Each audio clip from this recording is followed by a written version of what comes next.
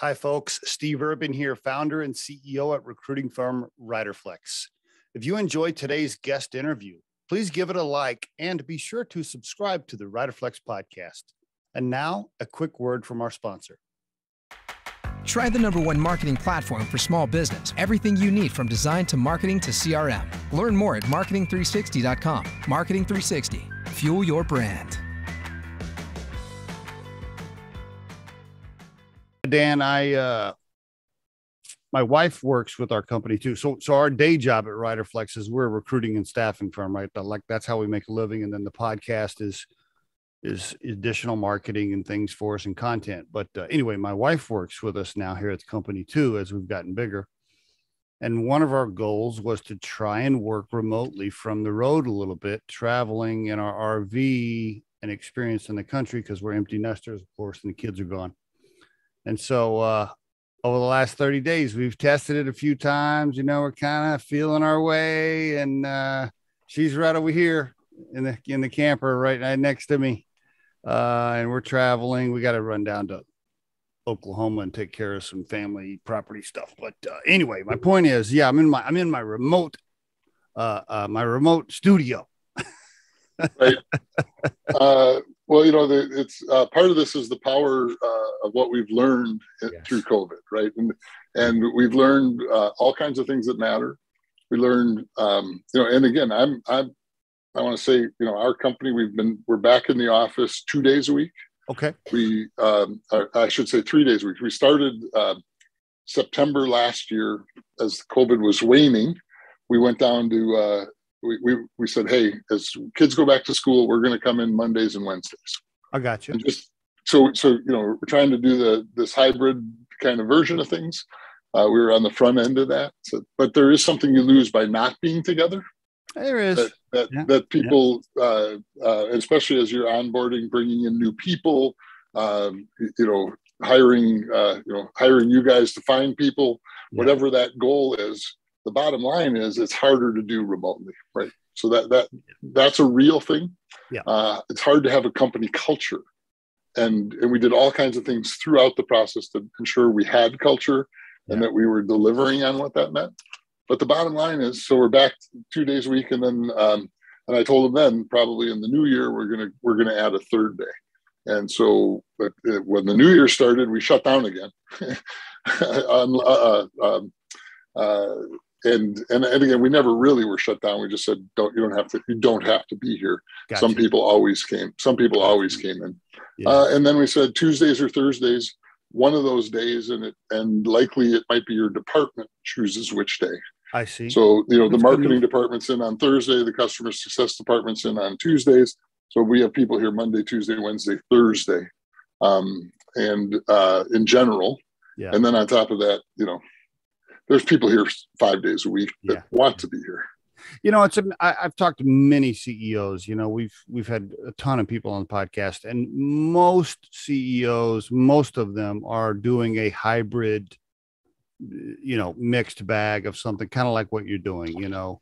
Very few people that i know personally or that i've interviewed have a hard line one or the other um, and it's and it's still a mixed bag now, Riderflex, we, we've been remote 100% since the beginning of the company. So for us, even way before COVID, that was just, you know, right. there was no difference for us. But uh, because I have, we have recruiters all over the country and it's just easier. But um, you're right, though. And I, you know, I ran a couple of $40 million companies as a CEO before I started Riderflex. And uh, yeah, you know, the water cooler, the lunchroom, the meetings in person. I mean, it does there, there's a lot to be said for it, you know. Uh, and and the biggest thing is, and then we'll move on to, you know, Dan. But uh, the biggest thing is the sharing of ideas and thoughts, because you know, even with us, you know, I, the recruiters will here at Riderflex, you know, I'll be talking to one of them individually, and they'll say, "Oh, I found this." other little trick to find people and now i'm doing this and i'll go that's great. Have you shared that with anybody? have we have we told anybody else about that? And uh, you know, if they're in the office, they see each other and they're like, "Oh, hey, Mary, by the way, I saw." There's just more sharing and more collaborating, you know, in person. So yeah, well, and and you know, the, the, as we get later on, we'll talk a little bit about my company, but the there, there is a truth that our tool actually is an enablement tool for uh, that can be leveraged for you know remote work right how do Yeah. i find out that Yeah. information how do i do Yeah. things Yeah. um it- it- but it- you know when you talk about we're going to get into Dan, the reality is who we are um, as individuals should be reflected in who we are as leaders Mhm. right and so and and um and so i don't i don't want to separate them too much Yeah. because i own the culture i own the content i own i own who everybody represents to our marketplace but i also that is a reflection of me and i'm proud of that right? yes. Yes. so so Yes. uh, I, I just want to be clear um, you know leaders entrepreneurs uh, especially right you know it's it's when you have a hundred thousand employees um, it's harder for to be a direct reflection of the ceo and likely the ceo isn't the founder right. but when you're a founder when you're an entrepreneur um, you're building a culture that is a reflection of who and what you want Mm, and no as doubt. you uh, as you created riderflex it's uh, it, is a reflection of you Yeah. in the in all good in good ways and bad and right? bad. Uh, right? Wait, Um, uh, Uh, I don't I don't hear um so are you from Minnesota originally? Because I don't hear the typical Minnesota accent. yes my mother my mother would be proud proud that that's the case i am not from minnesota originally Okay. uh, though i'm from milwaukee so it's not like it's uh, you know Oh, it's right. not that different um now when we you don't said have the when you said Milwaukee, when you said the word, it was a little That's absolutely a thing. Milwaukee is is pronounced as I do, not as the rest of the world pronounces it. Right? Um, there's a there's a twang to it. There's a there's a heritage, a Native American heritage to the yeah. to the to the names uh, in in uh, in Wisconsin there, uh, and here you know in Minnesota too. But so were the, you uh, uh, did you grow up a Packers fan then and and then you now you live in Vikings country? How did that work? dude, uh, Uh, there we go. what do you mean grew up? There we go. So uh, Oh, you know, I have oh. the Packers. I, I I can pull out all kinds of Packers paraphernalia. um, so I, I want I have to. So this is who I am. I'm a Packers fan. That's cool. Um, the Packers. I'm also an owner of the Oh. Packers. oh, because oh, the oh, right. Packers That's are- right, are- right, right. right. Yeah, Are owned by the community, that's right. and so that's that's always been the case. But when the Packers want to put an addition on their stadium, they just sell more stock. I see. Un, unlike going to the tax, and part of it is because Brown County uh, and Green Bay, you know, Green Bay only has 140,000 people. Right. right? So if they're paying the taxes to build the stadium, uh, it's an impossibility, Yeah, right? It right, doesn't. yeah. It, it- the math never works out. Yeah. But this is the kind of gift I give because I have two business partners. Mhm. One is a Jets fan and one is a Vikings fan. Ooh. And so it, last year, um, the Packers had an, their third stock offering where they were selling stock. Okay. And so for the holidays, I gave each of my business partners a share of the Packers, Really? Wow. which which is like the ultimate gift Wow. because you can't sell it. There's no there's no value. I If see. the Packers ever get sold, the Green Bay VFW gets all the money. So making it so the Packers will never be sold. I see. Um, so the shareholders are shareholders. So yesterday I get a text from uh, one of my business partners, which was saying, you know, I I, uh, I just want you to know this is the gift that keeps giving because he got the annual shareholder annual meeting and proxy vote mailing yesterday. How how about that? Every year he's going to get stuff from my Packers to his Vikings house. uh, he can't tell his Viking friends that he owns Packers stock, right? Oh, it's he put it on Facebook. there, there- there are um, his family chat. He, he texted me once the what's going on in his family texting about the NCAA tournament and can they root for Wisconsin because Minnesota's not there, and and of course his brother chimes in. But you're a Packer owner. so It's it, trust me, it's it's Uh. it's literally the best gift I've ever given to a non-Packer fan. that is that is pretty cool. So you grew up in so Milwaukee, the area. Is that where you went to high school and all that? Yes, yeah. Okay. I, you know, I, I, I guess I officially left when I was 18. Not, I mean, not uh, going to college. I mean, why'd you go to why, why'd you go to the University of Minnesota? Well, how'd that happen? Oh, I didn't. I went to Drake University, and I still don't know how that happened. Oh, that's right. You went to Drake. Oh, that's right. You went to Drake. I, I got a master's at, at the University Oh, of that's Minnesota. right. That's right. That's right. Okay. All right. And why'd you go to MBA. Drake? Uh, so I have I have two great. I mean, a, a guidance counselor kind of conversation pushed me that way, Okay. and then I went and visited, and um, and you know I had a great time. Yeah. And I and the truth is, we it was a great education and and great, you know, it was a great experience. Four years in in Des Moines, uh, the uh, you know the mecca of Iowa, and uh, and um, and but it's a you know it's a college town. It's also the capital city. It's it, it, it it's cool. It's fun, and uh, and I have I mean I've been back, but I haven't. Uh, I didn't stay. We'll just say it that way. Now, when you were in college, now, by the way, coincidentally, I went to college and got my bachelor's from 85 to 89. So basically the same years you were in college, right? Man, that was a good time, wasn't it, Dan? That was, that was a good time. Yeah. Um, the, lots of good, uh, lots of lots of good times. I, uh, you know, the the the even today I look at college um, as the process of maturing and Yes. learning good Yes. stuff, but Yes. also learning life balance. Life balance. And uh, yes. but it, so when it comes to hiring, and this again going back to my my thoughts, if somebody presents me the the 4.0 student that didn't participate No. In college, I am not interested. Yeah, I totally agree. I would much rather have a 3.0 that did 16 activities. Yes. Any Because that's activity, what- anything, anything, Right, sport, right, sports, student government, whatever. Whatever it is, it doesn't matter. I agree Yeah. with that. Yeah. The, the bottom line is, I want you not to have matured and understand Yes. that there's ramifications for going out and drinking on a Wednesday night doing whatever you need to do on Thursday. I want you to understand that you have all of these priorities, all of which have to get successfully done. We don't just give you one thing to do and expect it to come back, one thing to do, come back. Yes. And so yes. if you didn't embrace the opportunity, um, I'm concerned. Yep, I agree. You know, and there's a lot of talk, right, about uh, should kids still invest the money in college because all you got to do is ask Google, and Google gives you all the answers.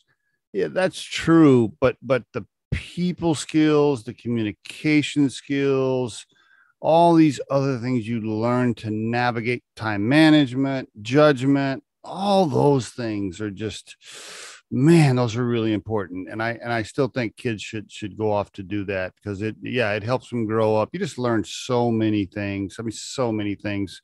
So um your folks though what what your folks do? And did you have any siblings? I want to ask about that real quick. Mom dad siblings? I, I have all of the above. Mhm. Uh, my father was a physician, uh, internist, endocrinologist, um, okay and uh, and you know, uh, just an awesome, awesome individual. Uh, you know, if if if you have a question of ethics or what you should do, you could Mm. you could look at my what my father would do and and do that. It's Okay. it's it's Okay. the it's the right thing. Uh, my mom, uh, homemaker, uh, three kids. Um, she uh, she I mean she was she was awesome. She she she departed too early, uh, and uh, so it's I mean literally it's been twenty years. oh wow Um, whoa 20 What- yeah, oh you mind me asking you mind me that was she so she passed away early you mind me asking what happened Uh, breast cancer.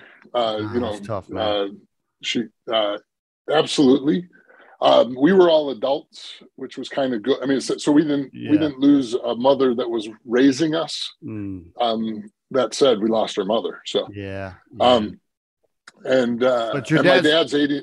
He's, 80 eighty nine. okay all he's right. 89. Uh, he actually broke his hip on New Year's Eve, which is often the downfall. Uh, you know, not it's the Yeah. beginning of the end for Yeah. most people. And my father um, uh, had a conversation with us, and he's like, and and he's very aware of that data. And his response was, "Yeah, I'm not. That's not going to be me. okay And I think he's better today than he was three years ago. really Like, like his mindset has changed. That I'm 89. I'm going to enjoy myself. uh, I'm going to do and be, and and you know, breaking my hip isn't going to kill me. That's um, good. That's you know, good. So you and you had uh, what? Two brothers, brother, sister. What do you have?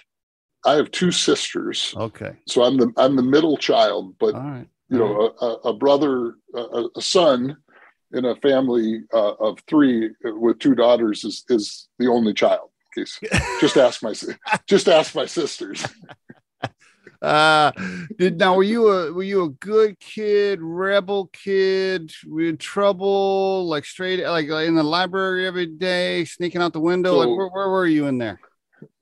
Um, in general, I would say I was a I was a very good kid. Okay, but I wasn't a very good student. Oh, uh, those are right. those are not necessarily the same. Thing. I wasn't I wasn't studious um, but you weren't in jail. You weren't in uh, jail every, every once a month either. I I I I, I have uh, I avoided jail now. You know, with the TSA now, I, I, I the biggest question was, do I want to be fingerprinted? Because you know, I, I, but I but I did because I want convenience more than I care about my you. my gotcha. the likelihood of me committing a crime. Gotcha, gotcha. Okay, so no, um, all right, nothing crazy. Yeah, but there. you know, uh, but I nothing like that, and uh, um, but but we had fun in in, in all kinds of great ways, uh, both as a family. But my my sisters would say I I might have you know controlled the the television, the one television we had, because you know I could physically. Uh, block block them away from being able to change the channel. By the way, for the yeah. listeners, for the listeners, me and Dan we were the remotes remote controls for our dads, yeah. right? We were dad would be yeah, like, hey, because you had to get up, grab the knob, turn it.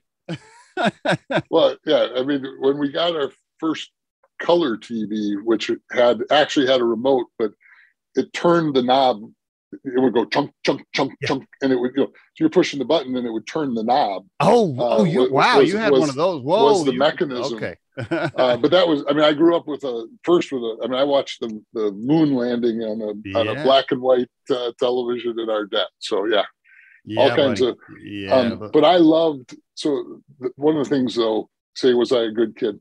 I loved technology. Okay and I was so I I and I like I mean I took things apart. I would see how they work. Like you know my uh-huh. dad would we'd go to the garage sale and he'd buy an old television or something and i would tear it apart and oh really? okay. out, okay you know, just, like the whole purpose was you know see how see what's inside learn about it do things. Okay. um and then embarked upon you know i'm i'm in high school and uh, uh I, I worked at a video store. I worked at a computer store i mean i uh, we had an open campus for the second half of high school and I would leave. You know, I, I would be done with my classes at you know one twenty three. Yeah, and uh, and I would be at work at one thirty. So I, I was kind of an entrepreneur and and uh, and learning the, the the business world well before um, most. So uh, wow. a little wow. on the geek, you know a little on the geeky side. Okay, uh, I was the AV guy in, in, you know grade school, high school. Now, when you talk about did I what, did I do things wrong? and I'll have to apologize to a couple of, you know, Mr. Miller and a couple of teachers in, in my grade school. But um, so what we did wrong is uh, we had keys to the school. But oh. we would go in and, and use the dark room. We would go in and, I mean, we, we, we didn't do damage. Uh, and as a matter of fact, the last day um, after, uh, after kind of shutting down the eighth grade, uh, and we were leaving, you know, a couple days after school ended, and Mr. Miller uh, asked me, he said, Can I have the key back? So he was very aware. he was very aware wow. that we that we had keys. Now, wow. in wow. fairness, in fairness, and this is the point that is my first disclosure ever, I still have the key. Because I, I didn't only make one copy, Mr. Miller. I made two. Oh, there he is. We got we got to get this to him. We got to get this to him. For Sure. Wow. So, so, you were so yeah. You were the t- kind of techie, uh, mechanical, entrepreneurial spirit early on, and then, I mean, great career. We won't have time to cover everything you've done, but I guess you're you're the biggest when you really started to, to take off is when you landed that job at 3M and you were there for eight years. That kind of that kind of started the career, didn't it? Well, so before then, I had actually worked for Apple and Microsoft uh, when, I mean, just just to say, like, um, yeah, these are uh, in the 80s. So In the these are 80s. entrepreneurial companies, right? Yeah, right. And so I'm I'm uh, you know I was there. Uh, I was at an Apple dealer, and then at Apple as the Macintosh came out, and and um, wow. you know Guy Kawasaki, who's obviously one of the the the he was the Apple evangelist and wrote wrote, wrote the book The Art of the Start, which all entrepreneurs should read. Mm, good one. Um, the Art of the Start. Well, so I mean I've met Guy and worked with him back Wow. in, in the in the day, right? Oh, so you met him. Okay. I mean, uh, yeah, well, and actually, if you Google Dan Mallin and Guy Kawasaki, you'll come up with a blog post cool. of uh, of that he did visiting me, playing hockey in Minnesota, what? and doing a bu- bunch of different things. So okay, that's pretty cool. He, took up hockey later in life, and so I invited him to play in the U.S. Pond Hockey uh, Championship, uh, which uh, a friend of mine started that we just we just helped pretty uh, cool. do it. And then cool. and then he gave a presentation to some entrepreneurial efforts, couple of things for me uh, as as part of the that deal. So Now see, now see, he uh, he along with several others right there earlier in your life had an immediate effect, right? An immediate, an immediate. You're, you're watching them. Yeah. You, you're the mentoring. The, you're following their leads, their mannerisms, the way they communicate. Well, that's really good stuff. Yeah, the fact the fact that when I looked, at, first of all, I love that you put your LinkedIn profile all the way back to to 85. I love that. I wish more people would do that. Um, and then when I saw Apple, Microsoft, and 3M, your first three, I'm like, holy shit. He he was he got those are three excellent starts. Uh very nice, very nice. Okay, yeah, so so the the interesting thing going to 3M, well, I should say at Microsoft, you know, I was there for the first quarter they were public, where we literally had the whole company beer and pizza in a, conf- a big conference room at cool, Microsoft. So I mean, just cool. putting perspective there, right? very cool. uh, my my entry class had had dinner with Bill Gates. Uh, you know, it, you know, thirty people and Bill, inclusive of Bill Gates. you know. nice. So it was it was a very different um, time frame and an op- set of opportunities. yeah. Uh, as I get, went into 3M, um, uh, you know, it was uh, again, it's it's an awesome company, right? yeah. it's entrepreneurial it's innovative uh, and uh, and i had a series of managers there that um, that allowed me to do what an entrepreneur would do. Matter of fact one one of them said uh, said uh, to me once you know and actually to, to my man to her management that hey give dan no budget. Tell him what you need done.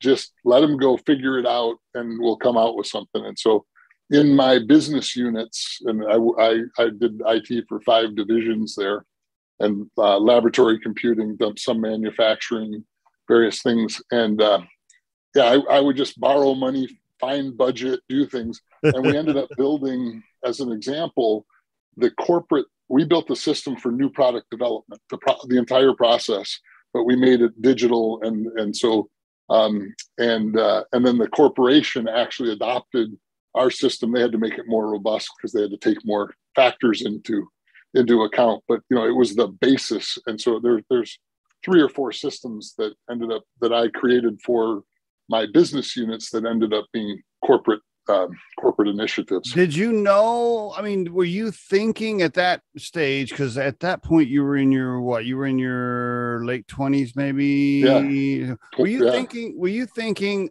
I'm going to be an entrepreneur at that point, or were you just like, I'm just, I'm just having fun. I'm working hard. I'm moving up. I mean, Um, you know, it's funny you say this because uh, I always was an intrapreneur. I mean, Okay. going back to snow shoveling, paper routes, Okay, you know, okay. uh, just figuring out how to how to do stuff.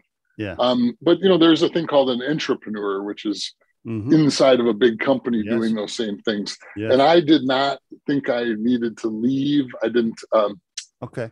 I had, uh, you know, I was doing cool stuff, right? And I got, it was all opportunistic.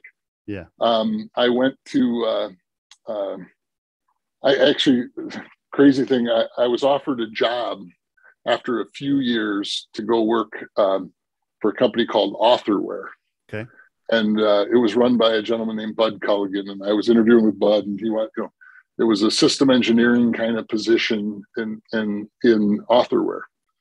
now most people don't know the history of authorware No. spin out of control data which was one of the original computer companies Mm, um, and when the silicon valley used to be in minnesota okay. um, and so anyway authorware was acquired by adobe bud colligan went on to be the ceo of adobe Oh. and uh, and it is all of the animation and other kinds of stuff that Adobe did was based on on that acquisition. How about that? Um, Wow. so it, so it was a pretty pretty cool opportunity.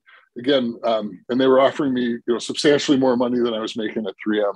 And again, ta- going back to my father, his response was, "Well, if you're worth that in three years, just think what you'd be worth in ten. nice. Yeah. right and so uh, and so I, I didn't go and i stayed with with um, with 3m and uh, and i did i got to do all kinds of cool That's stuff great. and one of which was uh, creating the original 3m.com And What? so really? like so yeah so so i was part of the you know a six person kind of core team uh, that launched 3m.com oh, that's and, cool. uh, and so and it was at was at that point that I started doing a, a little public speaking, people, Okay. and then uh, and then similarly, um, so I started a company doing consulting on the side for companies to was how that to use spot the by internet. was that spot by spot? no, that's uh, Oatmeal Media. Okay. All right. Uh, oatmeal Media, comfort food for the internet hungry. Uh, Uh, you know, in uh, and again, this is in uh, this is in the '90s, right? So Right. '90. yeah. Wow. um, Yeah. 94 95 i'm i'm consulting my wife um, uh, uh, with a with a young child in hand was um, uh, was doing kind of sales uh, opportunities on this uh, helping me set up what i could do Okay, see. and then and then i was you know delivering it through a a, a partnership uh, with a third party called imaginet and uh, Oh. my partner and one of the partners there founder was a guy named scott litman who's still my partner today oh, really? Holy. Yeah. As, as in as in co-founder or equity holder in Lucy So- or, so co-founder but Okay. so going back so oatmeal media used his company as its back end in delivering Mm, then uh, then oatmeal media was acquired by his company and then and we were both acquired at the same time by imation which is a spin-out of 3m so you guys been friends for what 25 years? How long? oh, well we, we don't we just like to say 20 plus because we don't want as entrepreneurs we don't want to seem too old i just dated it right you know Uh, we started in uh, in the you know in the mid to late 90s together in some form uh, and we have been partners in business together. So you know, a mag, um, yeah. we became a, Imation, so Oatmeal Media, then a Imation, then we bought it back from a Imation as Imaginet, then we sold it to WPP as J. Walter Thompson. Now, when Uh, that, can I we- pause? Can I pause Yeah. you right there? Was that set? Was that exit? Was that your first big payday, or was that a small payday? Like, was that was that a life changing exit or a small one? Just just want to. Yeah, well, so first of all, when we sold to Imation, we thought it was life changing because we were young. Okay. Okay. and it was, and it was in the time frame, right? We're we're like uh, like uh, like we're- enough to enough to buy a house, but not enough to retire, kind of a thing, or or. oh yeah, yeah. Okay. Okay. Okay. All right. Um, All right. No, it was. I mean, it was. It was lucrative, and then we bought it back, and then we sold it again, and so both, which was then much more, uh, much more life changing Okay. uh, on this on the second iteration. Um, and congrats. uh, congrats. and so, congrats. and then we got to work, uh, you know, with um, again, we were uh, the digital uh, component and became the non, all non-traditional component inside J. Walter Thompson. Um, we had 13 offices, 12, 12 in the U.S., one in the U.K. Now let me ask Uh, you right there, yeah. but you technically with for J. Walter you were an, a quote an employee then, right? Is that right? Yeah. How how was that? I want to just ask you. I don't mean to interrupt your flow, but I you know so many, er, so many entrepreneurs that had an exit that then go on to like okay now i'm going to help somebody else or i'm going to do work for somebody else and all of a sudden they're they have like a, boss that they have to ask them when they can go on vacation, but they used to be an entrepreneur. Sometimes that's a tough transition. Yeah, so it's always a tough transition. I want to, I want to, I want to say that, but look at it slightly differently. You always have a, a boss. You have a board. You have a bank. True, you have other people that are affecting. True. So I, what we do is we said, and we said, hey, we exchange the board and the bank here for a big, okay. you know, global global right. corporation. Okay. Um, you know, WPP owned, uh, uh, you know, again, a big holding company owned it. Okay. Um, so that part is easy. Okay. Uh, and we, um, because we had, uh, you know, the structure of the deal is there's an earnout. So, okay. so, yep. Yep. but when you have an earnout, it gives you control. Yeah. So so we did have a boss, and I don't okay. want to make it sound like we didn't. And we had to report in, we had to have financials, we had to follow procedures, we had to do all kinds of things. Um, some of which we really didn't want to do, but we, that's that's the nature of the beast. That is. They paid us to do that. The second part, though, is we had uh, control of our organization, and it grew inside of them. Right. Okay. So, so uh, you know, I ended up being uh, you know, chief operating officer for North America for this whole non the non traditional advertising businesses. And yeah. So, now by and by this time in by this time in your career, operations and leadership is is becoming really who you are. An ops leadership guy. Uh, is that yeah? It's okay. Yeah, no, it's funny because that's really not who I am. Okay. Um, Okay. I, am uh, I'm the visionary strategy oh, oh, oh okay. Uh, okay. kind of leader. Scott, my partner, is much more methodical and, and operations focused. Mm. But it, it, truth is, it's part of the deal. Like you know, we get yeah. we have to do we have to um, okay. you know make things work. By the way, nice combo. By the way, when you when your co-founder, that that is one of the best combinations. If we can pause for the listeners right there, if you're looking for a co-founder first of all, make sure they don't have the exact same skill set. Make sure they're complementing you in some way. But boy, if you have a strategic, creative visionary with an operational, tactical, keep the train on time person, man, that is, whew, that's a good combo. Yeah, there's, um, I, I don't know if you are familiar with Traction and uh, and the EOS operating system, entrepreneurial operating system no, by Gino not, Wickman. No, no. So um, it's actually it's it's really really just funny because if I pull off the books on my shelf, I have Guy Kawasaki's Art of the Start, but but the second one here, uh, Traction by Gino Wickman. Okay, and this is an operating system of how to run entrepreneurial companies, mm. and we started using it years back, and we've used it across multiple companies. Um, and the coolest part is it's an operating system on how to use uh, how to use how to operate a company Okay. But the best part is so when you get an offer from our company, you get the book. Oh. With the offer. And we say, this is how we run the company. I Be see. ready. I see. Because okay. it's it's vocabulary, it's process. It has nothing to do with what our product is, what our service is, or how we do it. And so um, Traction uh, is uh, a book about, you know, get a grip on your business by Gino Wickman. Uh, there's a second book uh, written by Mike Paton and Gino Wickman um, called Rocket Fuel. And Rocket Fuel, which I don't have sitting in front of me, so I'm less, much less impressive. But Rocket Fuel is about exactly what you talked about. In the the concept is there's a visionary and an integrator in the traction book, right? The visionary integrator does all the operation stuff, yep. and uh, which is just an awesome me- mechanism and methodology. Yes. But the second part, the second part of this is Rocket Fuel is just a book about how those two, when they're working together right, can take off, take the business yeah. to different places. And and uh, Mike Paton, uh, or just Paton as we know him, is uh, a traction implementer. He was the second visionary of traction after Gino uh, left that role, um, and coincidentally is on the seventh floor of this building.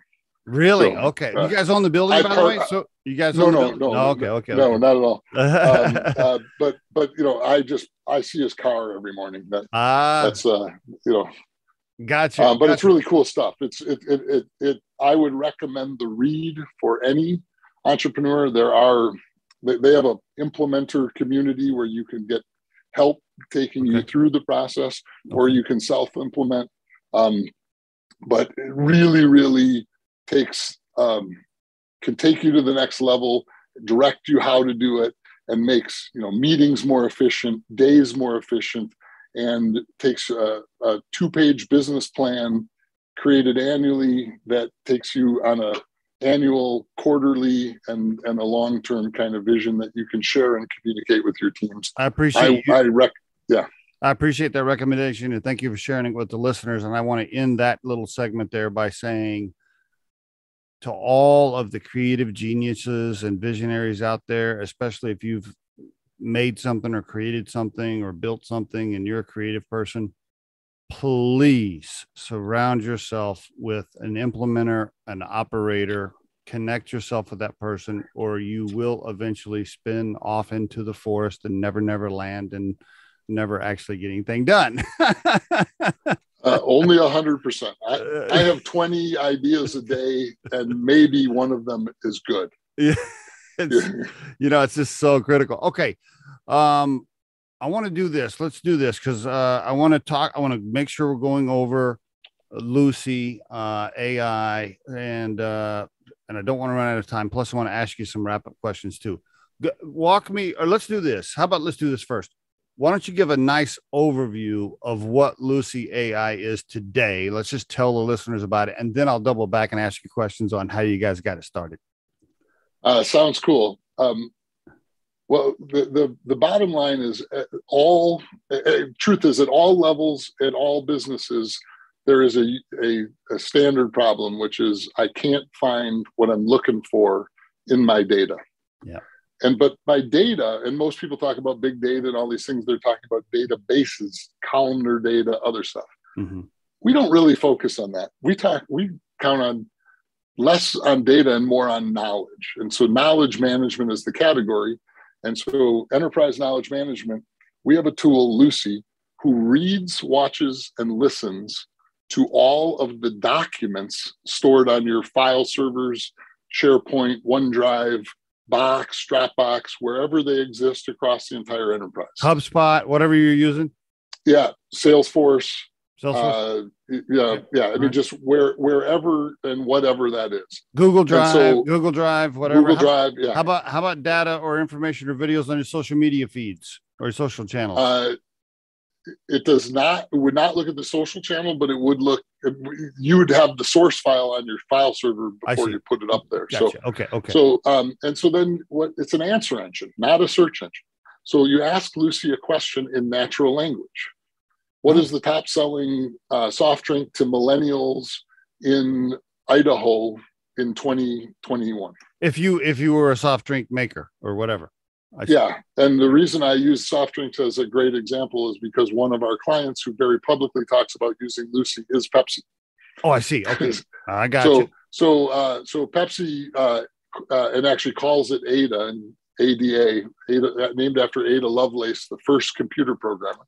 Um, and uh, so Pepsi has a global view of uh, of all of this data, and Lucy's busy reading, watching, and listening. And then, so think about a PowerPoint deck, and think about how many PowerPoint decks companies create every day, because it's it's measured in the thousands or tens of thousands. PowerPoint decks every day. Yep. And then you think about the PowerPoint deck that I created last month, and I'm trying to find on my own hard drive. Yes. Yes. I can't find it. Yes. But now I want to say I want to be able to find people in my work group, people in my division, people in my company, keep you know people across the enterprise, and be able to leverage um, uh, what we can share. Mm. And so Lucy has read, watched, and listened to everything in the company. And then I ask a question, and she knows what I'm allowed to see based on what I have access to. And she gives me the answers from what I'm allowed to see. Will it say? Will it say, "Hey, I have the answer, but you can't see that"? Go ask your boss, Bob, and he'll give you clearance. Uh, it, it it does not, um, because and there's all kind. I mean, we get into government. We, are actually working with the government and other okay. places. You know, okay. They don't want you to know what you don't need to know. Okay. there's a catch twenty two, right? You know. Okay. Uh, okay. So they, uh, but in general, uh, you know, we we're, we're uh, highly secure ISO 27001, which is a security certification. We have the we we manage the secrets of companies left and right. Okay. Um, but the idea is, when I say that, you know, what's the soft drink in Idaho for millennials? What will come up as an example might be one PowerPoint slide with the answer on it, the chart of of oh, soft drinks in Idaho. I see. I see. Um, but it's slide 68 of a 122 page deck. But we just bring up the slide. Here's okay. your answer. Okay. So okay. and so it's much more focused. So because if you do a search and it comes up with 10 documents and, and each of the 10 documents is only 10 pages long, you have 100 pages of reading to figure out what your answer is. We so try to not, take you to right. the 10. So this is not a this is not a like a hey Google uh and it talks back to you, but it but it does pull up the document, so to speak. Yeah. We don't um we've we've we've played with audio. We can do audio as a way to ask the questions. Okay. Uh, it still introduces too many errors. I, I, mean, just think about when you use Hey Siri or or um, yeah. Alexa or whatever, and these companies are spending billions of dollars, and there's still errors. Yeah, right. Uh, so so I'm just going to be clear: we, we, don't use audio input because it introduces too many errors. Okay, I see. That said, that part's easy. I could turn that on in a day. Um, but most of our answers are visual in nature. Okay. Now we do have a new feature that we just came out with, this, which is called Synopsis, which writes an answer that's not in these documents, but writes an answer from these documents of, of what the answer, uh, what Lucy believes the answer to be. Um, and it's really, really cool and powerful, which allows us to do uh, provide access to this kind of resource in your Teams environment, in your Slack environment, you can at Lucy ask her a question and she, and she puts the answer in there, the, the synopsis answer, Great. and Great. then you can click through to the visual answers that that she provides. You know, there's two things that come to my mind immediately. Now I know you guys for, focus on Fortune Fortune 1000, but even for small, you know, SMB, and we're we're only a two million dollar firm, so we're still a very tiny company, but still e- even when you get to 2 million your google drive and your files it starts to fill up and then there's folders and subfolders and then johnny created this and then now johnny left and, and now it's six months later and then mary comes to work for us and mary's like man i got this really good idea. I'm going to spend three days creating a b and c and then she creates A, B, and C, and she presents it to somebody, and we're like, "Yeah, that's already in the system. Johnny created that last year, so we just wasted three days of payroll." right. Well, and and uh, it's hundred percent the case. And this is where we were, where I was talking earlier about onboarding client, onboarding new people yeah. in a COVID and work at home environment. Yes. Because you don't have access to the knowledge, the subject matter experts, the things that you might run into, who to ask. You don't know. Yep. And so if you have Lucy deployed, because um, because the truth is, uh, there was somebody in your job before you got there, and That's they did right. all kinds of work. That's right. And there was somebody, uh, and yes, and all of that work is stored on the G drive or is in SharePoint Some, somewhere, right? Right. And so and so when you come to work, and actually there's some data that um, uh, LinkedIn, Microsoft just put out, which is that your your manager is likely to give you about 60% of the knowledge you need to be successful. That sounds right. that right. Sounds so, right. You, so you get about 60% of it, and the rest is look at hunt, SharePoint. Hunt, hunt. Look on the share. Yeah. And and again, if anybody who's ever used SharePoint search understands that that's just okay. Yeah. And Microsoft tries to improve it every day. But the other thing is, um, it doesn't search across things; it just searches one thing. Mm. And we search, you could have 10 different SharePoint sites, you could have a box, a Dropbox, love it. and Salesforce and search them all at the same time. Love it. Love Additionally, it. Love Lucy it. does two other things. She also searches your third party purchase data. So if you're a subscriber to eMarketer or uh, um, uh, you know Business Intelligence Insider, those kinds of things, she searches at the same time answers from there. And then the third thing she does, and I said we don't do databases, but we do do data tools. Okay. So if you're using Tableau or Power BI or some esoteric system, like uh, there's a company called Knowledge Hound, which does uh, cons- consumer data, um, consumer survey data, as an example. So we we don't search those databases, but we search their dashboards. Mm. So if I say in, in my demo, Lucy, I can say what, what's the latest data on COVID nineteen, and you know there might be an answer from um, uh, you know different different sources. I But one of the answers will be from Tableau, and it's a Tableau dashboard that shows, and it's live updating immediately. So I get the most current data when I click on it. It brings up the dashboard, and then if I click through, I could get to the Tableau dashboard in Tableau. okay. So, This- so we bring data forward. It's like a GPS to all the data you have. So, so my next question is why why isn't everybody using this? And is there a competitor that you're battling against? Because i'm thinking to myself wow sounds great like a wonderful tool. Uh, if it's affordable for a business let's do it. So why isn't everybody signed up? And are you battling a competitor and what's going on? Yeah. Uh, I mean, uh, there's uh, in in good ways all of the above. Uh, the, the there is an element of, um, and actually, we even call our, sales process is uh, this. The first thing we do is give a wow demo, and the wow demo is um, is delivered by the sales rep.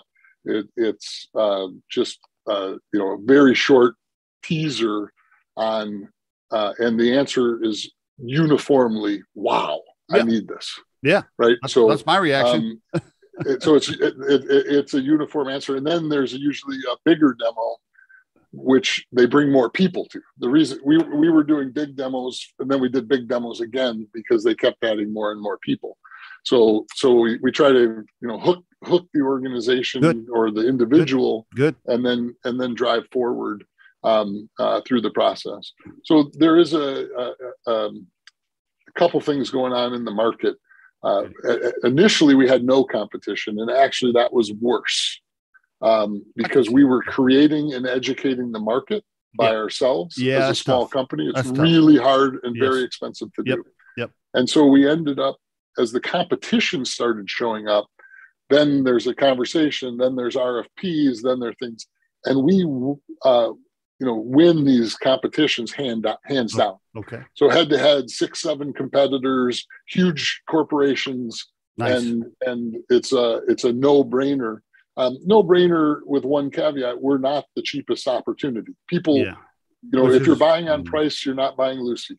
that's why so on that's one of that's if you're buying reasons- on value, okay you're buying and, and let me also say what what nobody calculates in correctly is the cost of ownership because our competition says you have to upload every file you want available into their system and you have to tag it our would- system just connects to the server doesn't touch the data doesn't Okay, great. remove the data Great. and we automatically monitor adds changes and deletes we automatically tag everything okay and so, you know, like a, a quote from uh, somebody we were talking to who'd already bought a competitor. They're like, "Well, we're six months in, and we have like uh, like ten thousand documents in." And of course, we would be six days in and have ten thousand documents in. now is Right? that You know, that process right there is that like a special sauce patented trademarked process to where the, your competitors can't do it that way well, we have um, we do have four issued patents in, in, in our portfolio. We have more coming. okay, okay. Uh, most of it is, uh, you know, is, is secret sauce, but the, there's Okay. a fundamental design thing that our competitors don't have, okay which is, and it's and it's funny because so I'm the visionary. Like, I, I design things on a whiteboard that are just the best world class technology, but somebody else has to build them. Um, and of course, I had a great partner in Mark Dispensa, my CTO, and and uh, and you know he's just brilliant. I mean, it's unbelievable. We have a technology conversation on Wednesday, and you know he'll call me on Sunday and show me the proof of concept. that's cool Uh, you know, like- nice nice just mind-blowingly Nice, nice, unbelievable nice, and and fantastic. Um, and so, you know, we fundamentally didn't believe that we should upload. We we think uploading is obsolete. Why Okay. would you have to process it? agreed The second thing, and I already kind of told you all of this, but everybody else tags the 122 slide PowerPoint deck once. So you're going to upload it and you're going to tag what's in there, right? okay okay But Lucy tags every page. So page 22, page 23, and page 24 come up with different criteria because they say different things. i see i see But so fundamentally, if you're manually tagging, you cannot keep up with what Lucy's doing in any way, shape, or form Okay. because it, it's not possible. And the reason you can only upload 10,000 documents in six months is because somebody had to um, Yeah. do something. Yes. Somebody had to put it there. Yeah. Somebody had to tag it. Yeah. And therefore it could be retrieved. Where I- I said we could do that in six days, right? We would just connect to your SharePoint. Lucy starts read, watching, and listening. Lucy starts tagging, and every day more files are available. And then we hook up another SharePoint site and another SharePoint site. And next thing you know, we have 200 SharePoint sites in your corporation all connected. We have 20 other data sources connected. When we have 60 dashboard sources connected, and Love you it. can ask questions across the whole thing. And again, so Love it. yes, we're more expensive, but we don't require a person Okay. or a team of people, There you go. which which is unbelievably more expensive. Oh, and the other here's a little secret: Lucy never takes a vacation day. Lucy, Lucy never takes a better job and quits. Lucy, mm. you know, you're if you start relying on people to do stuff, then people do people things. Mm, Um, and so, and the other piece is subject matter expertise, right? We subject matters big uh, experts' biggest frustrations are answering the same question every day. They want to answer the hard questions. yes. They want to be challenged. So Lucy answers the easy questions and then escalate. You can escalate it to subject matter experts. And hopefully, when they answer the question, it gets fed back into Lucy. So then she knows that answer now, too. Very good. Um, by the way, for the listeners, lucy.ai, lucy.ai, probably Fortune 1000, but any industry, it doesn't matter. Industry we have it's industry agnostic we have lots of people using it sales enablement we have Okay. people using it for marketing Okay. people using it for research uh, we have customers using it in manufacturing all the all the plant you know all the packaging plant manuals everything so the people who do the maintenance look up how do i fix this Okay. uh, and and and get the right diagram aircraft engine maintenance manuals you name it Did you and your uh, co-founder, you guys bootstrapped it in the beginning, put in your own money, and then since then, it looks like you've. I saw on LinkedIn there was a Series A of 2.5 million. What I'm just curious. Yeah, who who bootstrapped it in the beginning? How much cash have you taken? And are you are you on another round or what are you doing? Yeah, Yeah. so there, uh, and there are three co-founders, just to be clear. Scott Oh, and I have been we'll go back 20 X years. Okay. Okay. Uh, Mark's been with us for 10 plus years. Okay. Um, and so it's it's the it's the three of us. Okay. Uh, and um, and so and and very very much so. So yeah, we started with our with our own money and, Okay. and then added a little friends and family. The Series A round actually was six million dollars. Oh, Um, okay. I'm just looking total? at LinkedIn. I yeah. I'm sorry. Yeah. I, I'm, anyway. Okay. so the it all was just the, the the there's a the 2.5 was just the last um, Oh, I see. Uh, all right. Uh, so Okay. so we we and, and and with the Series A we brought in what we you know VC money, professional money. Ooh, Um, ooh. Did you give up? You didn't give up control, did you? Uh, well, is always a, a funny statement, but no, we didn't give up control. Uh, but there's there's always there are some controls put in by the VCs. yeah. right? Uh, you- so- you- yeah. so so, uh, so having a majority voting control is different than having total control. Agreed. Um, Um, are you, do you, I don't know how much of this you want to share, but uh, I guess my, my, you know, I've had so many conversations with owners that take on cash from PE and VC, and sometimes they tell me they signed a deal with the devil and they wish they hadn't done it, and sometimes they tell me that it's all great and wonderful. I've heard, you know, from one end of the spectrum to the other. So so first of all, I want to say I, I'm eyes open, very aware of all of the above. And I do want to say VC is different than PE in Yes. major ways, and so Yes. different, good and bad.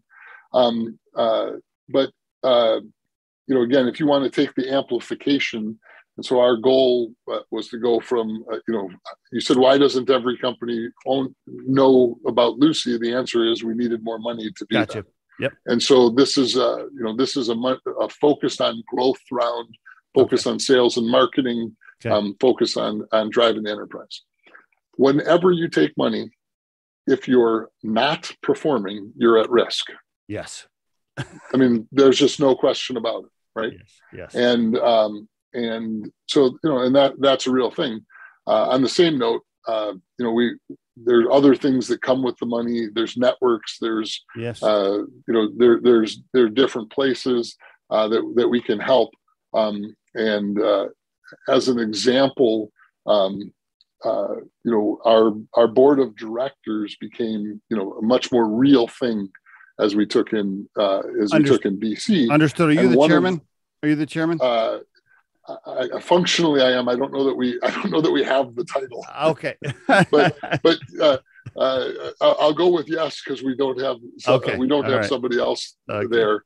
Um, but one of the VCs brought in a gentleman named uh, Frank Mergenthaler, and it, it, coincidentally, uh, Mark used to work in Frank's organization Ah, years ago. Um, Frank was the um, CFO for IPG, which is one of the world's largest holding companies, competing with WPP, who used to own J. Walter Thompson. I see. So, um, so you know, w- w- uh, we're getting exposure to Yeah. just uh, Yeah. better people Yeah. that uh, better mentors, better access, uh, all kinds of things. And and the the one thing, you know, a tree that stops growing dies. And if you're a CEO, a visionary, you're running your company, and you think you have nothing to learn, Oh. you will die. yeah. Right. You will die. Yeah, And I'm I'm yeah. and I'm a seasoned multi. You Yes. know, I mean, I, I've done all kinds of things, and I don't think I don't have stuff to learn. I well, learn. so I learn every day. Um, so um taking the VC money, and I apologize. I know we're at the end of our time here. I'm gonna. I know you probably have another meeting coming up. Um, let me just ask you. So taking the VC though, that tells me that now you're like, okay, grow and uh, scale as fast as we can, and I'm assuming then you'll be targeting an eventual exit somewhere down the road. Is now the plan?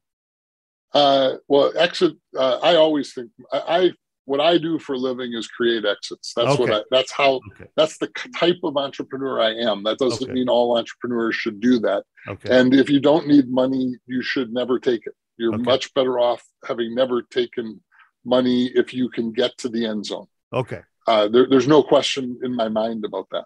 Okay. Um, that said, uh, and I don't know, there's another book which I have on my shelf here, but I'm not, called "Crossing the Chasm," which is uh, um, Gregory Moore, and uh, and it's about new technology adoption, and it's un- it's kind of unbelievable because it goes way back to like chicken farming technology adoption, and it still applies today. And um, and so we're we have crossed the chasm, but they, they call the if you think of uh, you know a, a bell curve statistically, they you take off the two wings, and in the center there's this big group of people, and they split it. They call that the herd, and and so right now we're on the front half of the herd, Okay. and so we have um, let's just say a three to five year window that's going to determine what percentage of this market we have Okay. right? All right. And so this is this gets into the why we took money, right? Yeah. And so so I have three to five years to attack the Fortune 1,000, 5,000. You can pick your number, but we're we're an enterprise scale software doing unbelievable things, um, unfathomable things across across that enterprise. So I, how do I get to those people? It's expensive. I got to be there, and Yep. I got to set. Yep. This sets the whole trajectory. The second half of the herd follows the first half of the herd but again people are making decisions now where as i said earlier we were introducing them to concepts now people are embarking on the process of picking their their platforms Dan, congratulations on everything you've done. I, I could talk to you for another hour. There's like a list of 50 more questions I wanted to ask you, but I know we're out of time. We have to you have to come back on the show. I'll have to get you back because I wanted to ask you a bunch of other stuff. But uh happy to do so i do have another 10 minutes if you want to okay, Otherwise, okay, can- okay, great. If you don't mind, I wanted to ask you a couple of uh what I call um outside the lines a little bit, just kind of like drifting outside the lines. Um yeah, if you don't mind. So so when I think about data companies collecting information, knowing everything, technology wise, I guess the question is do you ever worry about technology in general and and the amount of information and monitoring and everything that we're doing as a species Does it ever worry you at all? Uh, yeah. So uh, the answer is, of course, it does, and it Okay. should. um, uh, the other side of it, which if if you think you're not or can protect yourself, you can't. So, uh, and good or bad, and there, there's all kinds of new legislation. Not that new. Um, uh, uh, there's a, in Europe. There's a GDPR, which is which defines the uh, what you what and how personal personal and personalized data can be used. I see. Uh, Canada has some restrictions more directly on um, emailing and and and stopping, you know, kind of the, the spamming. Um, uh, California has two different regulations, uh, one that's in place and one that's um, already already in place but yet to be enacted Mm. um, and and all about privacy, personal privacy, privacy protection, um, and what can be stored, how it can be used. Uh, one of the things in, in GDPR is, uh, and today if you go to uh, Google or uh, Amazon, you can actually request everything they know about you. Oh, oh, really? And you will Yeah, you, you get you'll get an answer? You'll get an answer? oh you can see the you can see your profile and and then when you clean your pants uh, and realize what they have um, and and and you can also ask to be purged from Oh, the from really? any place because of these because of these laws um, but But is NASA not I- I NASA have- is, is, I- is the is the NSA who who I'm almost positive is tapped to Google with the same information? Are they going to purge your information too? so well so that's where i was going the, the information is well beyond where you know say, it exists Yeah, that, that's exactly. so right. so the problem Exactly right. is yeah, that um, that that I I know that Google, Amazon, Facebook, so I could go purge all of those, yeah, but and then I think I'm pure. nah. I don't think so. And, and in, some ways, Google, Amazon, and Facebook are the good ones, not because they're great companies or anything like that, Yeah. but because you actually know what they're doing. I mean, it's the it's the other ones. I mean, um, Yeah, from a from a political perspective, there are databases on each side of the fence yes, that have thousands of attributes that predict what you care about, what you voted on, how you spend, what you've done, Yeah. that you don't know where it is and you don't know how to get yourself purged from. is and isn't it true? And I don't want to go too conspiracy, but isn't it true that that certain government agencies early on were were supporting and helping Google and Facebook and these people because they're like, wow, this is great. This is going to be awesome because we need all this data on all these people.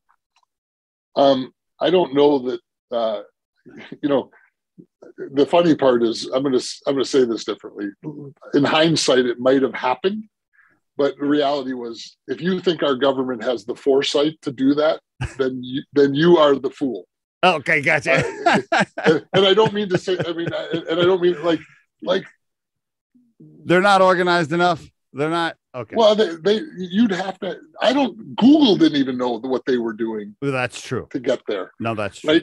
What the, the asset that, that Facebook, Google, and everybody, you know, Amazon came up with turned out to be data, uh, Turned out to be data. Yeah, but they didn't go, none of the three went out thinking, I'm going to sell data. I got you. What they did think is, I'm going to sell advertising or product. Right, And how do I do that better? Right. and it Right. turned out data was the answer I see. I see. but, this? but so so to think the government knew that they were going to find that they were going to collect the data in advance Not in advance. Okay. Okay. i just want to call bull i just want to call bullshit it's because it's bullshit and but but in the you know again there's these data sources that do exist Yeah. and again in the 90s i was out speaking and people were were you know again i'm not going to put my credit card on Oh, I internet. remember those. Yeah, I remember those days. Yeah, People were But like, guess "I'm not what? putting." I would yeah. walk into a gas station and hand it to a convicted felon, or a restaurant, hand it to a convicted felon, You're so true. and and So so my statement is the digitization, and now you'll we're seeing this. Uh, The single transaction has no value. It's not the swipe of the card that people try to steal, although they do with scanners and other stuff. Yeah. They try to get to the database behind it. And the truth is, the database behind it is the same database if I swipe it in the gas station, in the restaurant, or on the internet. Mm, It goes into the database, and Mm. that's where people try to steal the stuff. mm, I got, So I got, again, I, I, like like you're so busy protecting yourself, and I don't disagree. We need to protect ourselves. well, as much as um, you can. I got one more. I got one more outside the lines questions for you. This is another one. I don't know if you want to answer on this. Should let's use Google or Facebook. I guess either one. Should these organizations, and when I say Google, I'm including YouTube. So let's let's include YouTube in that. Should these organizations be able to just turn people off whenever they want, wipe people off of their so their platforms? Um, th- you know, this is a much uh, a much deeper question than we have time to talk about. There are attributes of there's two sides to it. One of which is they're private enterprises, I know. and and um, and so and we have the right to serve or not serve all kinds of things in a private enterprise make our own rules and, and it's funny because you know as you get into these highly politicized arguments and conversations the disagreement with each side's own ideologies when they start doing other stuff you know like like if you look at again the right or the left and i'm not they're, they're both they both do this so it's not it's not like i'm picking on one. Yeah. but you know you start going on well should they do that? Well but we're anti-legislation but we want to legislate all kinds of stuff here or you know and and and vice versa. I mean it's so it's so ironic. No it's just people picking and choosing what they care about. True. now they're private enterprises and they don't have um and unlike public broadcasting and i don't mean pbs i mean broadcasting where we control the airwaves and we give a license Oh, to somebody who controls the airwaves so radio Yeah. and it's and it's terrestrial radio, not you know not uh, satellite radio, and it's television. And again, it's not all television; it's broadcast television. Are controlled because they are licensed from the U.S. government. Uh-huh. That's right. Okay. And so, so, and then we start applying the same principles Mm, to other enterprises which aren't. mm, mm, mm. Good And point. so, so, so, and, and again, and I'm not saying that we should or shouldn't, because you can argue that we should. I just want to be clear: it is not a distinct right that we have to publish on YouTube, because there is no government subsidy and there is no license from the government. It's just a private enterprise. So I agree with And- that. My- I agree with that. My question though is how big and how much more big and powerful does Google have to get before somebody does say, "Hey, man, Well, I think what's going to happen is more on the lines of antitrust, okay." and so, so it's more likely that. Uh, you think they'll split up? Google- You, you, do you think do you think they'll be forced to split up?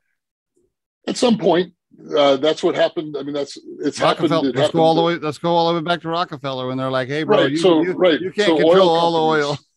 right. So I mean, we did it to oil companies. We did it to the telephone companies. Yes. yes, um, we've yes. done it. Uh, we've con- we've done things to IBM and Microsoft and Yeah. other ways that they Yeah. that, that they manipulated and controlled the market, and that is an issue, right? Yeah, And that's but that's where we cross over, not because, um, and actually the funniest part is.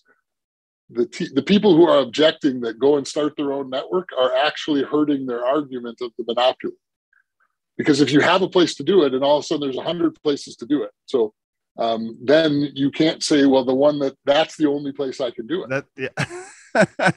So, I, and I'm, again I, I, don't mean to get political here because i'm not i'm, I'm staying right in the middle of Yeah. everything Yeah. but the bottom line is we have to understand again there's the um, this is again going back to entrepreneurs Yeah. i te- i train our people that there's a difference between legal and illegal and right and wrong so i don't uh, and i don't i'm not saying that you should do illegal things but you shouldn't do all legal things because they're legal you should do legal things that are right Ooh, good one. not legal things that are wrong. And my test is if whatever you're about to do ends up on the front page of the newspaper tomorrow or the website or whatever, um, and the ultimate person you don't want to see it is going to read it, would you still do it? That's good, Dan. That's that's the answer. Not it's legal. That's good, Dan. Because legal is a shitty definition of mm-hmm. what you should do. Good stuff, my and friend. So, good stuff. So that's where I go on the big picture here, which is, you know, maybe YouTube needs to do better because it's the right thing to do. Mm. Maybe they'll do better because they have pressure to do it. Maybe they'll do better because the government and antitrust and other places are looking at what they should do. Um, but just to say that we have a right to tell them what to do as a private enterprise mm. is crossing lines that we have to decide to cross. Yeah. Right? That's a really big philosophical crossing. It is. Um, because because I don't want them to come into my business and tell me what I can do. Right there. You just hit it on the head. I I I t- you just hit it on the head. I've told people many times because I've said the words, "Hey, this isn't cool for for Google to to do this," and I can't believe they just took this person off YouTube. Like I've said that to people in conversation, but then I've turned right around and said, "Well, I don't want the government telling me what to do with Riderflex." right. I mean, that's the that's the trade off because if you yeah. go down, it's not yes. just to those companies; it's yes. to all companies. That's right. So and and uh, again, uh, what we control is we vote with our dollars, we vote with yep. our eyeballs. Yeah. And so leaving Google or leaving um, uh, YouTube for their actions or whatever is the way you vote. And and and, and again, we vote in in elections. So the craziest part in our country is only half the people vote. So, and, and my attitude is, did you vote? If you didn't vote, I don't want to hear from you. right.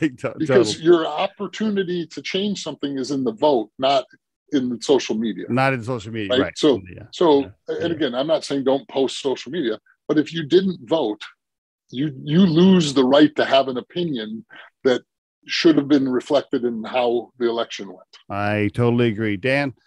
Awesome stuff. I could talk to you for another two hours, man. You'll have to come back on the show. Wonderful information. Thank you for sharing your story. Congratulations on everything you've done in your career, and congrats on on Lucy AI. Really appreciate you sharing. Uh, pleasure. Great to meet you. Great to spend a little time, and happy to come back.